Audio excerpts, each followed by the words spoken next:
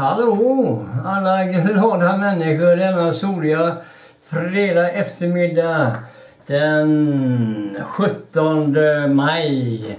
17 maj det är väl eh, Norges nationaldag om inte jag tar fel. Ja, hipp hipp hurra för Norge. Ja, solen skiner och fåglarna kvittrar och alla är glada att de ska få en spade.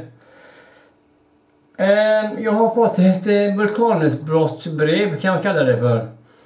Jag skrattar. Ehm, ja, det, det är faktiskt en vulkan som har fått ett utbrott. Ehm, jag ska läsa upp det brevet här och får ni höra vad ni tycker. Pressträffar som avlöser varandra. Hej alltså. Här kommer ännu ett ilsket brev från AN.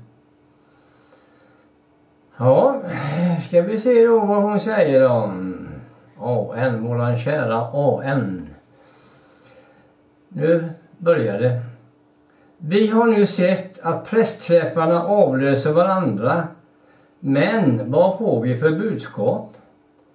Biståndsminister Johan Forssell, moderat, gav ny information om att Gaza ska få mer pengar av oss till sina barn och transporter kommer in till nödställda.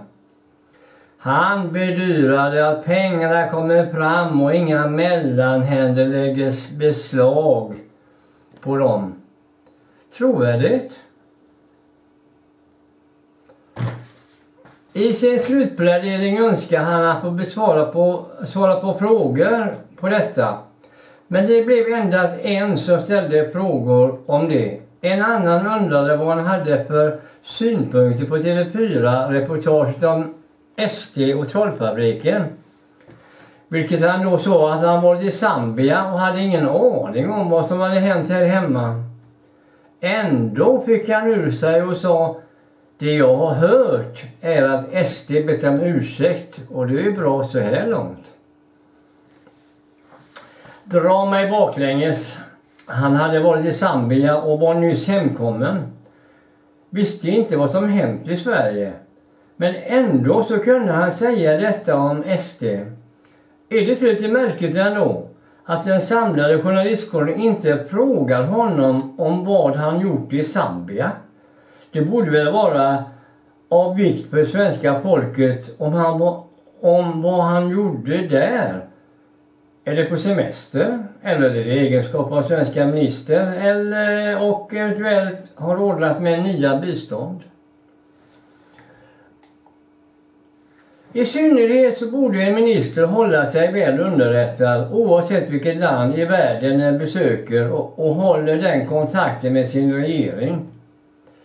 Vad som helst kan ju hända under deras vistelse men det är kanske inte så himla noga med det heller, då slipper du att svara på frågor. Men vet nog fan ändå vad som har hänt.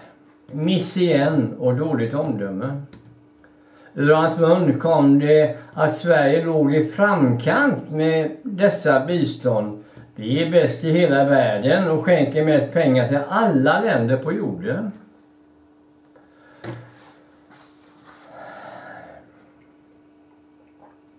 Borde då inte dessa pengar hamna i vårt land? Med alla dessa brister vi har här och tydligen bara blir fler och fler. Ja, jag bara undrar. Dessa ministrar har onekligen rost i ledningen. Det borde saneras och få till ett styre som kan och vet och hur och var våra gemensamma skatter ska hanteras. Utan att blinka så förs det miljarder ut i intet. Tror inte heller det finns någon redogörelse för eller bevakning överhuvudtaget hur dessa pengar används. Vi har som sagt bevis på det. Nästa summa som ska gå till EU 2025 består av 46 miljarder. Sug på den summan. Ja. Det som ivrar för att det är så viktigt att rösta detta valet är ju det som ska ta en plats där nere och få en lön på 400 000 i månaden. Som om att det nu inte räcker, då läggs det ytterligare 4 000 lappar Eh, om inte befinner sig, om de infinner sig där på dagen. Sen då går det ut efter att, att det anmäls ett deltagande. Finns det ju ingen heller, eh, det finns ju heller inget i detta parlament som ska redovisas. Så glöm det Magda om att SD redovisar sina konton. Titta istället på hur hanteringen av våra pengar i EU går istället. Där lurar alla troll som finns. När väl valet är ett faktum så blir det med stor säkerhet nya höjningar och pengar vid sidan om till kontorsmaterial att stiga. Redovisning? Frågetecken. Förekommer inte alls och kommer aldrig att bli det heller. Så självklart är det för dessa parlamentariker och övriga personer som består av 60 000 personer i EU att få sitta där och tjäna multum. Vi andra jobbar, jobbar som pensionärer, som jobbar vi andra jobbare som pensionärer kommer aldrig ens i närheten av så höga inkomster. Så varför rösta på att det ska få mer än oss andra och sen fatta beslut som drabbar oss så mycket illa? Är inte detta ett stort skämt så sig? Ingen jämlikhet eller demokrati råder här inom EU. Varför ska vårt land bara bestå av 21 politiker då de andra länderna har många fler? Det borde vara likadant över hela organisationen. Lika många i varje land oavsett folkmängden. Men som det ser ut nu så får vi ändå betala mest för detta spektakel. Bönderna är i kris, skogsägarna likaså. Sverige är i kris. Vad har vi då i EU att göra? Det var mitt lilla inlägg idag alltså och tack för ordet. Ha en bra dag och helg önskar AN. AN. Ja du, tack AN för detta eminenta brev som alltid det osar katt tycker jag. Och eh, jag tycker att du har så jävla rätt i vad du säger. Verkligen.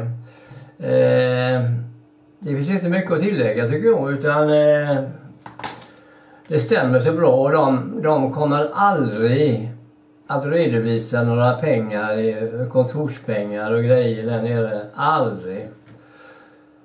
Och så länge de inte behöver det så rullar det på. Och så gnuggar de händerna och skrattar åt oss som betalar. Så är det.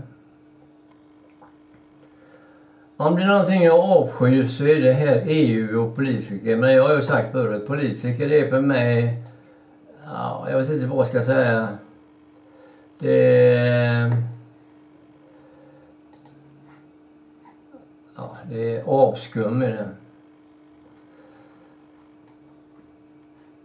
Men eh, ja, så ser det ut. Ni får det gott alla människor och ha en trevlig helg så hörs vi och ses vi. Tjingeling från Skilipin i Almsjö.